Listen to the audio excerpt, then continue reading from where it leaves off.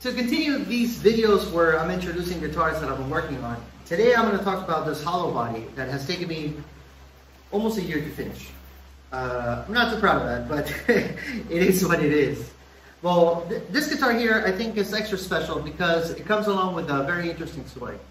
The farm where I have my shop, the farm where I live now, uh, as you might know, if you've listened to any other video of mine, belonged to my grandpa. And my grandpa was a farmer in many, many ways. He did uh, cows, he did horses, and he also, of course, did fruits. And one of the main things that he planted here was passion fruit.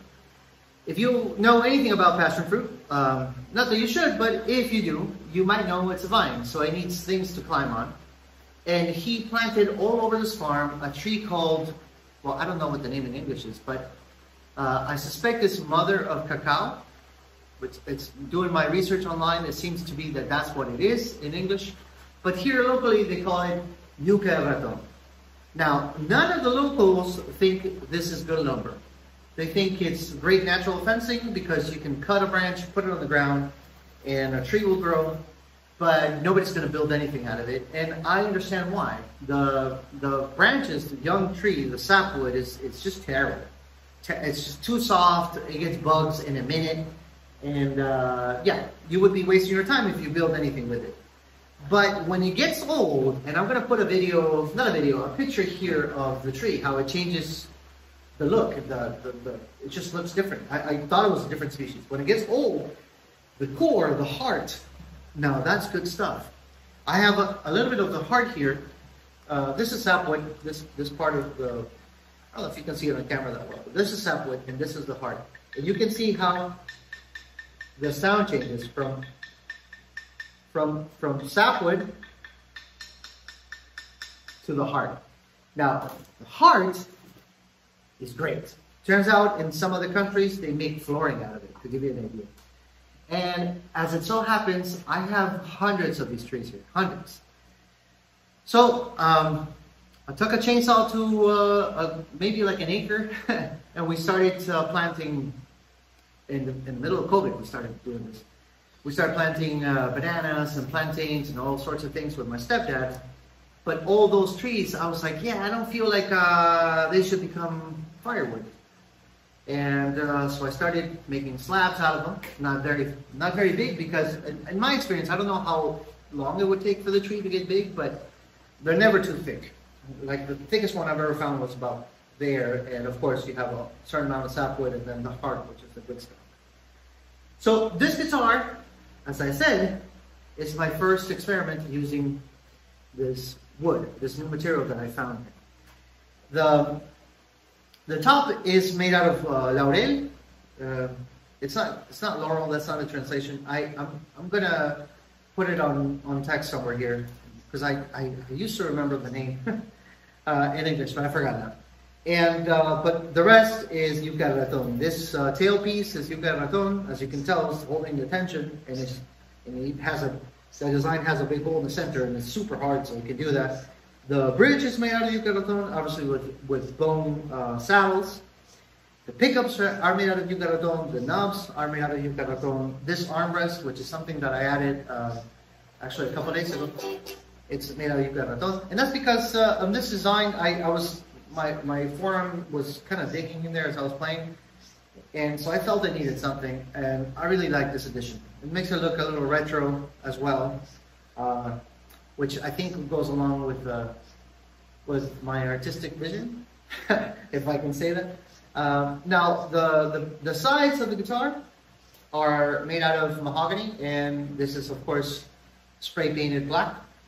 I think the contrast uh, looks great. Back again is Laurel. That's not the name. Like I said, I'll give you the name. This is made out of yucca raton. Uh, I just dropped uh, a button. Let me get that really quick.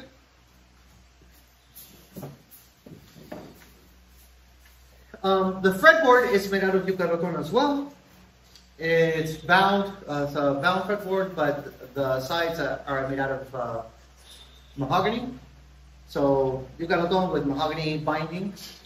The headstock is matching laurel. Now, uh, something I, I, I never tried before, but I think it came out great, and I'm really happy I did so. these are Grover tuners, but as you might know, Grover tuners don't come with wooden uh, pegs. And I actually made these myself because I felt like they didn't match the lumberjackish, very natural wood look of the guitar.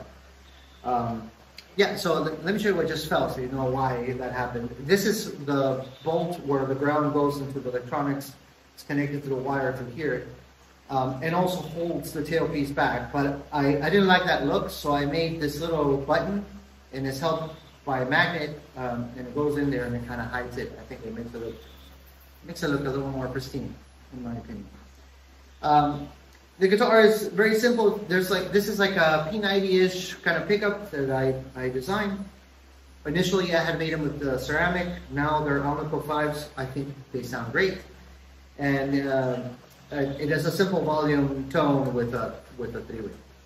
Um, what else can I tell you about this guitar? Uh, uh, even though I told you this, this was Laurel, I didn't tell you where it came from. Uh, this wood actually belonged to a bed. Yeah.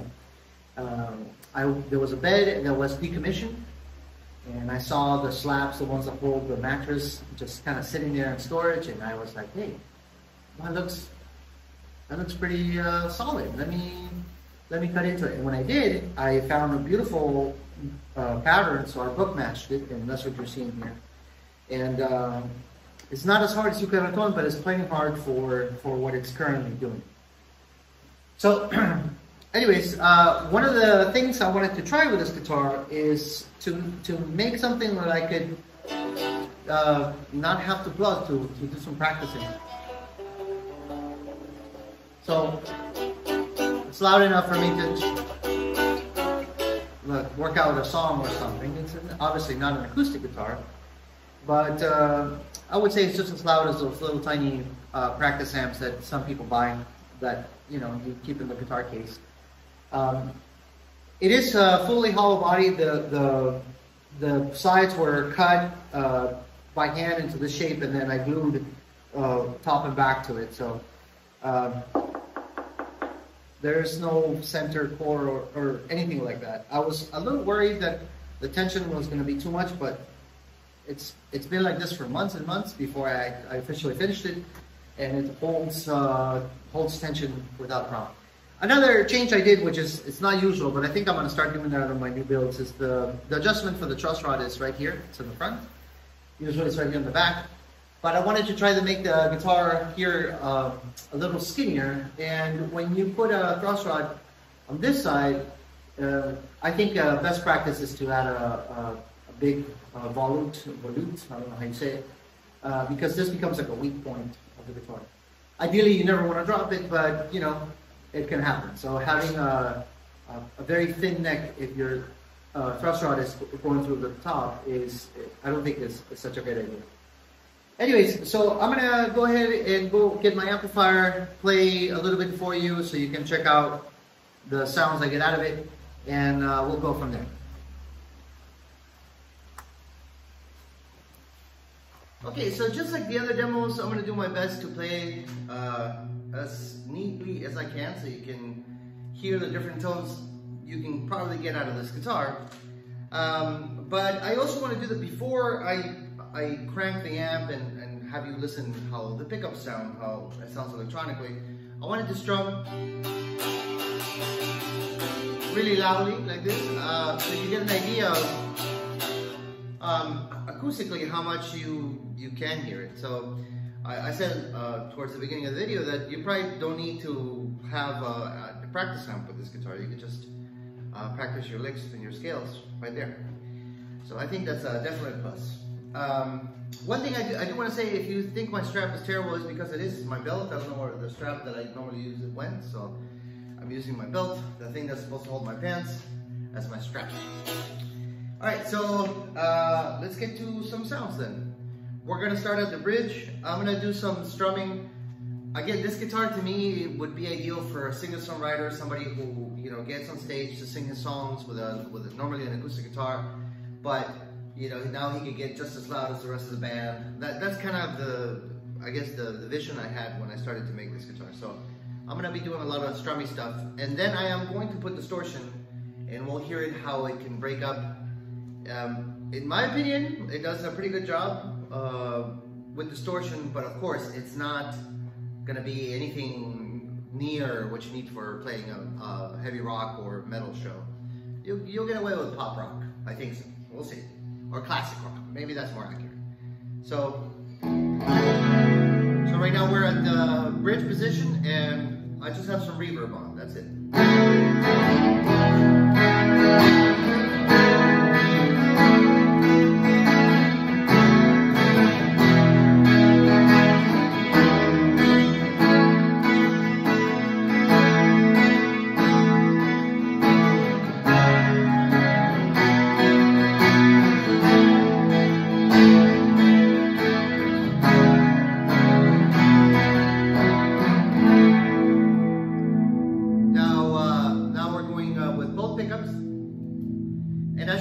That is some canceling, so if I was playing with distortion, that's gonna be the best position, and I'm sure you'll notice when we do that.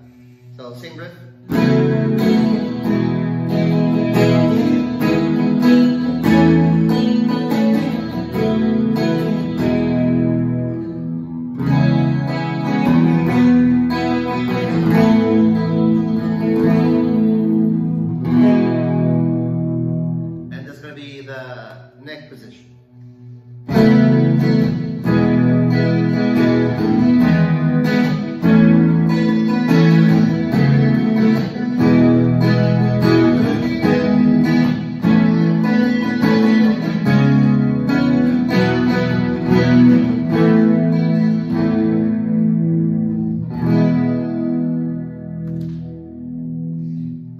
So I, I think that sounds absolutely great. I, I would I would do a gig with that uh, tone any day of the week. Uh, but let's let's put on some distortion and then I'll show you. Um, I did mention these pickups are low, but I didn't see the K. Even though even though resistance is not the only factor, there's magnet uh, intensity, which I think is measured in Gauss. But at any rate, uh, I am a pickup newbie. I probably made 40 pickups in my whole life. And uh, so if you want to learn more about that, let me know and I can recommend you some channels that, I, that I've been learning from. Um, but at any rate, this one is like a 4.3, something like that. And I think this one, uh, the resistance was like a 3.7. So um, they're low output pickups. I think in that clean uh, tones that you might want if you're playing and uh, singing a song and, and playing singer-songwriter stuff. Let's call it singer-songwriter stuff. Uh, low gain makes more sense than high gain. Uh, and again, that's kind of the vision here with the, the, guitar. I have to say that this is a, a little addition. I love it. I because if, if my arm just sits there perfectly and it doesn't hurt, you know. Which was uh, when I first made it, I was like, ah, that's not comfortable. It felt like those old Teles, you know, that have that hard border. Border. Um, I know some people might hate me for saying that, but it's just a, it's just a fact. You know, the, the Strat kind of fixed that issue. Um, at any rate, here's some distortion. We're gonna start with the bridge.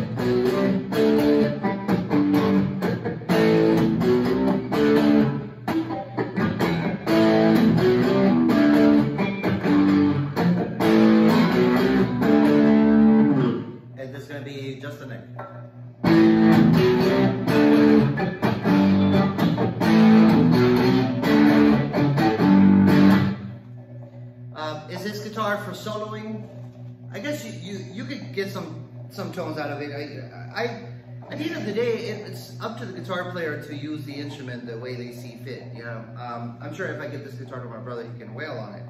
But if I was to attempt a solo, I'd probably roll some of the highs off of it uh, and and the neck position.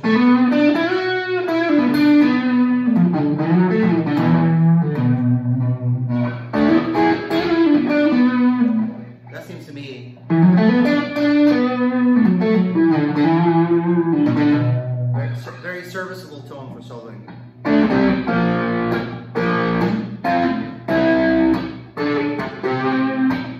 I think, uh, yeah, that kind of reminded me of that. Uh,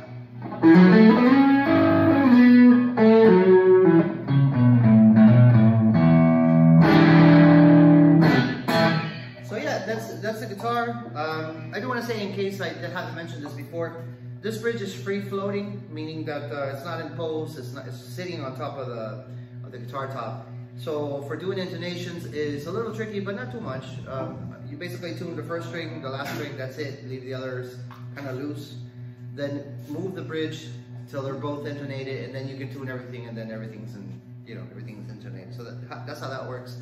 It was uh, quite a bit of, of sneaking upon the the position to to get that to happen, but it did. Uh, very time consuming, but I think it looks great. It kind of gives that uh, again that uh, raw singer-songwriter look that I that I that I was really going for. All right, and that's gonna be the end of the video. If you're still here, thank you so much for sticking with me. I know these videos are long, but I really don't know how to make them any shorter. Um, if you have any questions about the guitar, or if you want to give me some suggestions, some things that you would have done different, by, by all means. I, I, I love talking to people, and I love learning. Uh, so let me know in the comments. And I guess I'll see you guys in the next video.